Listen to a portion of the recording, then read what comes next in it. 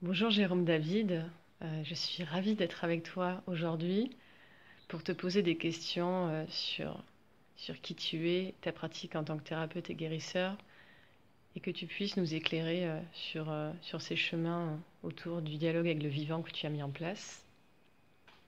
Ben, je suis très heureux de pouvoir répondre à, tes questions et de partager ce que j'ai ressenti, ce que j'ai vécu à travers pas mal d'expériences euh, dans ma vie. Merci Amandine. Merci à toi. Alors ma première question, c'est pas la plus simple, mais qui es-tu, Jérôme? Euh, je suis un humain qui avait beaucoup de perceptions, qui a eu la chance d'avoir des parents très basés. Ça m'a permis de pouvoir euh, ressentir, chercher sans, sans avoir la, la volonté de chercher, mais d'être à l'écoute de mes ressentis, de mon corps, dans la nature et puis dans différentes expériences où je me suis aperçu qu'il fallait que je regarde ça parce que ça me guidait complètement et des endroits où je me sentais très très bien. Et à d'autres, euh, je n'arrivais pas à exister. Euh, et ça me faisait ressortir des blessures, hein, ça me faisait mal dans le corps. Enfin, c'est- il y avait pas mal d'interactions différentes euh, suivant les lieux où j'étais. Donc du coup, bonjour. Du coup, euh, j'ai ressenti que la vie était en interconnexion avec moi, avec suivant la façon dont j'étais de- dans mes pensées et dans mes émotions, c'était différent avec les autres. Et euh, je pouvais me sentir mieux dans un lieu où j'avais été pas bien, si moi j'étais vraiment bien avec moi. Mais ça me faisait ressortir plein de questions, plein de choses, parce que ben, c'était le chemin de la découverte. C'était comme ça. Du coup, euh, comment se sont manifestées tes perceptions et comment tu les as développées? Eh bien, euh, alors les perceptions, c'était euh, c'était par exemple quand je passais euh, en vélo ou en mobilette ou plus tard en voiture, parce que ça a duré pendant un grand nombre d'années, que j'ai la volonté de vraiment commencer à m'intéresser à mes ressentis. Ça a duré longtemps. Et, euh, donc, ben, des fois, je, passais à un endroit et même la nuit où on voit presque rien, eh ben, je sentais des énergies oppressantes, par exemple. Sentais comme un déséquilibre, quelque chose qui ne va pas. Euh, euh, j'avais des frissons, j'avais des peurs euh, qui venaient alors qu'il n'y avait aucune raison. Et je me suis aperçu que en traversant les villages ou les villes, ça me faisait souvent ça, petit à petit, au fur et à mesure de ma vie. Ça me faisait souvent des effets d'être oppressé, d'être agressé. Et je me suis dit, tiens, il y a des énergies sur ces, sur ces lieux-là, des mémoires de choses qui sont euh, nocives pour la vie, euh, pour les êtres vivants. quoi. Et à l'inverse, j'imagine, euh, dans la nature, tu as pu, percevoir des choses extraordinaires. j'ai pu percevoir des choses extraordinaires. La nature m'a beaucoup aidé parce qu'elle est beaucoup plus subtile que le monde matériel dans lequel on fonce tous les jours euh, derrière le volant pour aller travailler. euh. Y en a qui vont travailler avec plaisir, mais c'est pas tout le monde. Et c'est vrai qu'il y a des obligations euh, qui, qui, en fait, n- nous permettent pas d'avoir les... Parce qu'on avait beaucoup dans la tête à faire tous nos calculs pour les chantiers, pour plein de choses. hein. Moi, j'ai une entreprise aussi, je sais ce que c'est. Euh, mais dans la nature, effectivement, euh, les arbres nous apaisent. Même si on ne veut pas, ils nous enracinent parce que c'est de fait, c'est comme ça. Ça se fait naturellement. Et ça nous permet de nous équilibrer. Dans la nature, j'ai rencontré des, des- des- des énergies qui me touchaient et qui, qui, qui- qui m'amenaient à, à avoir de la joie, à vouloir danser, euh, ou à m'amener beaucoup de paix. Et il y avait pourtant personne de physique. Mais je sentais bien qu'il y avait quelque chose qui me touchait, qui me Hmm. bougeait. Des présences. Des présences, Mm. exactement. Et les énergies des arbres sont toutes fabuleuses. Il y a, vraiment chaque arbre a une énergie spécifique. Et si on passe un peu de temps dans une futaie de charme, on va se rendre compte que c'est hyper doux et qu'on est vraiment dans le charme. On comprend pourquoi ça s'appelle un charme. Et un chêne, euh, ben, c'est une énergie beaucoup plus euh, structurée qui nous tient comme un, comme un bon père, comme un, comme un, je sais pas comment dire, un bon compagnon, un maître qui va nous guider un peu. euh, et puis, euh, et puis le peuplier, euh, c'est une énergie plus d'eau, plus fluide, comme le boulot. On peut ressentir une rivière à l'intérieur du corps, euh, nos émotions se libérer, mais avec tout en douceur, c'est extraordinaire. Le tilleul, c'est plus le père. Donc lui, il a la sécurité, il a l'assurance, il, rassure, il amène de la paix aussi. C'est pour ça que les infusions de tilleul, ça rassure pour dormir, c'est parfait. Parce qu'on se sent en sécurité avec lui. Et euh, du coup, comment à partir de ces perceptions, tu as pu développer des pratiques en tant que toi, thérapeute euh, guérisseur? Mais c'est-à-dire qu'en même temps que je percevais ces êtres dans la nature, parce que j'ai eu la chance, euh, dans toutes mes expériences, de, de vivre dans les Pyrénées-Orientales où il fait très bon, même l'hiver il fait quand même pas aussi froid sauf quand il y a du vent.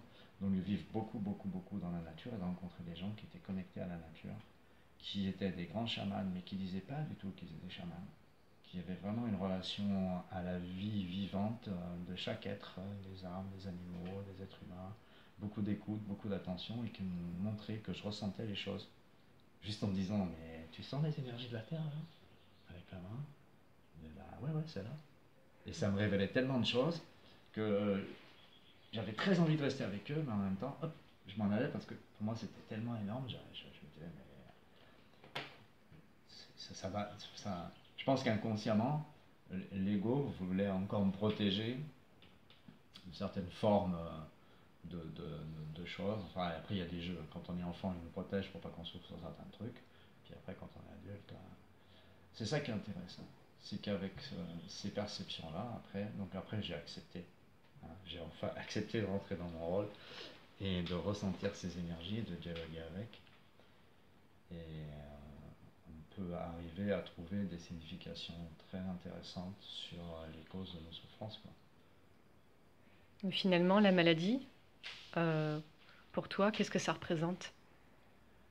La maladie, c'est un, un blocage d'énergie, c'est des émotions qui ne sont pas comprises, qui ne sont pas exprimées, c'est des acceptations qu'on fait sur des choses euh, qu'on ne ressent pas, on on n'arrive pas à être conscient que ça ne nous va pas, on accepte quand même, et du coup c'est le corps qui nous dit euh, stop, c'est pas bon là, il y a, ça vibre pas comme il faut, tu, tu te, tu te laisses trop faire par les autres, ou, tu es trop dictateur, ou euh, enfin toutes les choses qui nous, vont nous faire cheminer, qui vont nous faire comprendre euh, un peu plus qui on est et comment on peut guérir la vie et, et tout- toutes ces choses-là en nous. Mon cœur me parle, il me dit que c'est très bon ce que je dis. c'est vrai, c'est pour ça que ça fait rond, du moment c'est euh, très fort. Quoi. Mm. Voilà. C'est quelque chose que j'ai découvert dans mon cheminement aussi. Voilà. Quelles belles énergies. Hmm, Merci. Et euh, comment ça se passe du coup quand, euh, quand tu, quand tu es avec quelqu'un? Moi, j'ai envie de parler d'un chemin de guérison. Comment tu le construis, ce chemin, avec la personne euh, qui, euh, qui te consulte? Ben, la personne qui me consulte, ça veut dire qu'elle a envie de comprendre qui elle est en fait. Elle comprend pourquoi elle souffre et pourquoi elle a mal et pourquoi elle revit toujours les mêmes expériences frustrantes euh, qui, qui la font pas avancer vraiment dans, le bonheur, dans la joie de vivre et dans la, tranquillité intérieure. Donc du coup, avec ces êtres que, dont j'ai accepté le- les enseignements, euh, qui sont des êtres qui, qui, sont, qui, sont, qui sont comme moi, quoi, amour. Et euh, donc j'ai pu apprendre à dialoguer avec les esprits de la nature. J'ai pu apprendre à dialoguer avec la présence divine des êtres vivants, humains, et avec les âmes groupes des animaux, des végétaux. euh, C'est un travail chaman, mais comme le mot chaman, il a plein de ses connotations aujourd'hui, je ne veux pas trop en parler. Ça permet donc cette, cette façon de ressentir la vie, en fait, d'être connecté en cohérence avec le vivant. Ça permet de ressentir la colonne divine de la personne, sa présence supérieure, en fait, de lumière. Et donc de pouvoir savoir quelle est la cause exacte de son mal-être. Si c'était pendant la période de gestation de cette vie-là, C'est toi qui interroges la présence c'est moi divine. qui interroge la Mhm. présence.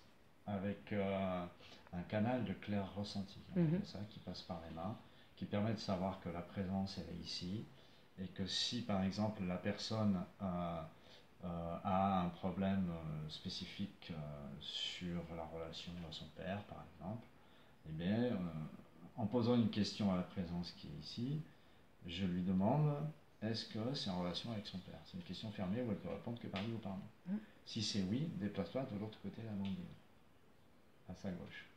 Et là, si la présence se déplace, bah, il n'y a plus d'énergie ici, elle s'en va. On la sent très très nettement.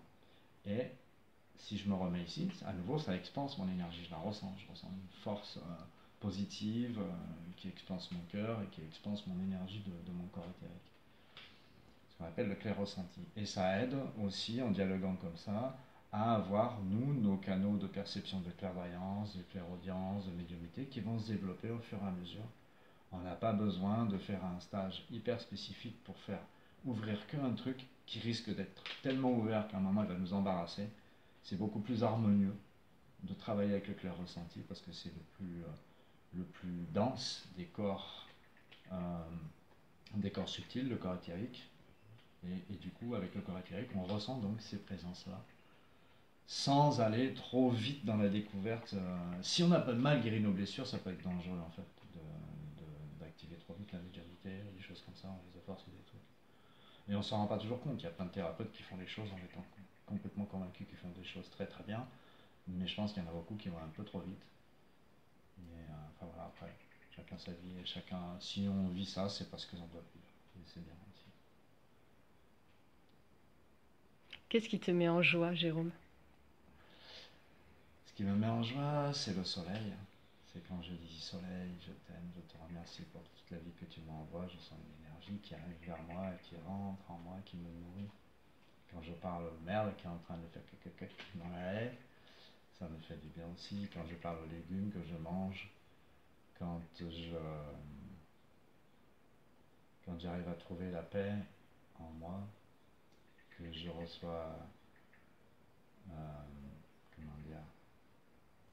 plus qu'une satisfaction, c'est un accord, c'est l'accord de la vie qui, qui vient dans mon cœur et qui me dit oui, là tu es à la bonne place, laisse-le s'ouvrir, laisse-le rayonner. Ça va faire du bien à tout le monde. Et puis ça va me permettre à moi d'être plus conscient, d'être plus posé, d'être plus joyeux justement, euh, pour pouvoir partager euh, ces beaux enseignements. C'est très interactif, c'est très. Euh, on est tous interconnectés, tous, tous les êtres vivants.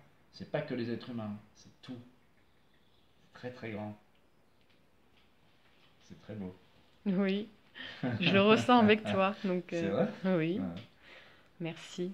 Ben, Merci beaucoup, Jérôme, d'avoir pris ce temps pour répondre à mes questions.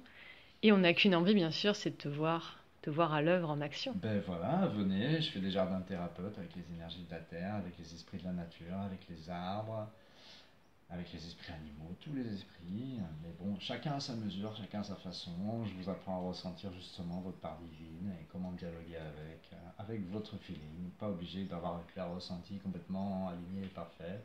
Il y en a, ils ressentent à l'intérieur, ça fait quelque chose dans la perle, dans le cœur, dans le plexus. Euh, des fois, c'est les oreilles. Euh, le guide, il se manifeste comme ça tout doucement parce qu'ils ont une appréhension sur quelque chose. Et donc, du coup, c'est un chemin particulier à chacun. Et on peut pas, on peut pas. Finalement, tu nous aides. Euh, être totalitaire avec ça, c'est pas possible. Non, tu nous aides euh, chacun à trouver son chemin. C'est ça. Voilà. C'est ça.